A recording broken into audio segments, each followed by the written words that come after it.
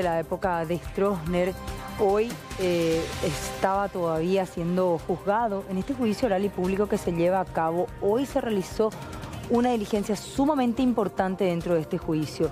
Por más doloroso que este sea, la reconstrucción de los hechos es crucial para poder conocer más detalles de qué pasó en esa época.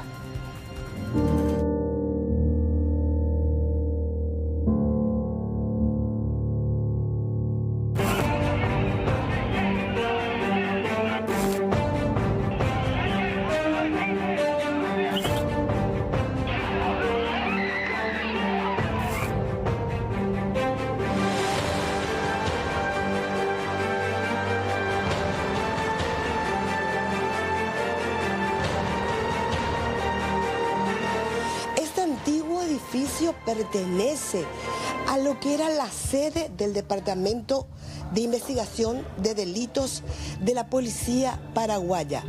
Más de 40 años después, víctimas de la dictadura, que hoy denuncian al policía Eusebio Torres, recorrieron los pasillos de este edificio relatando pormenorizadamente lo que habían pasado en esta sede. Todo esto en el marco del juicio por tortura y por eso se constituyó el tribunal.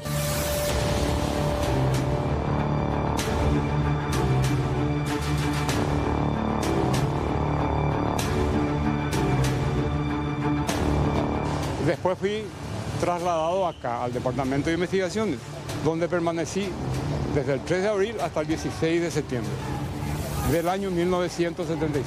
En vigilancia y delitos, que por una cuestión de memoria no, me quedaba muy presente dónde estaba ubicado, pero me trajeron también acá, que era también vigilancia y delitos, donde fui torturado también, y allá donde fui pileteado. Y conocí a Eusebio Torres porque nos tomó preso en Ipacaraí el 21 de diciembre de 1977 y la tortura que fuimos sometidos fue criminal y nos, nos robaron todo. Yo que vivía en Buenos Aires, vine a una reunión semiclandestina en el Colegio Salesiano de Ipacaraí, igual nos tomaron presos porque un cura nos traicionó.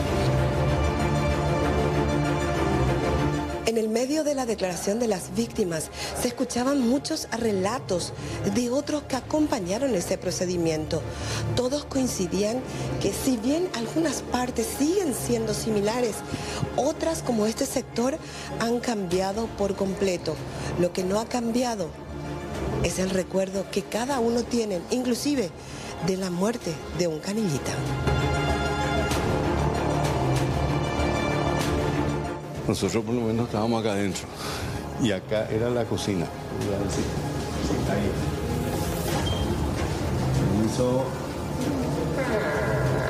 Esta era la cocina antes. acá estábamos nosotros y al lado estaba la...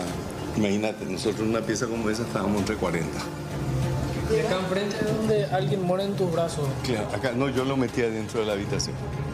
Eh, Arzamendia creo que se llama. Eh, vamos a preguntarle a Nenena, va a corroborar el nombre.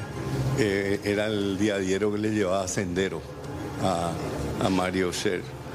Y lo detuvieron y le garrotearon toda la noche. Y él decía, yo soy ex combatiente del 47. Así que ya un señor grande.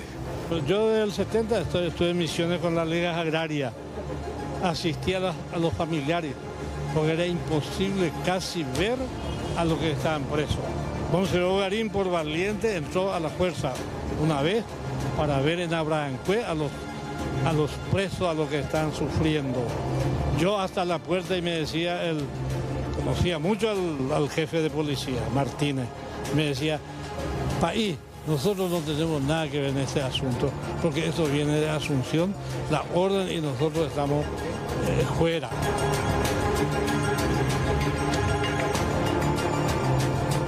Fue un acta de constitución judicial donde las víctimas nos describieron el lugar y lo que les sucedió en, los lugares que se recuerdan. Y ahora volvemos a la sala de juicio, permiso, para continuar con el juicio oral tenemos testificales y otras pruebas que producir.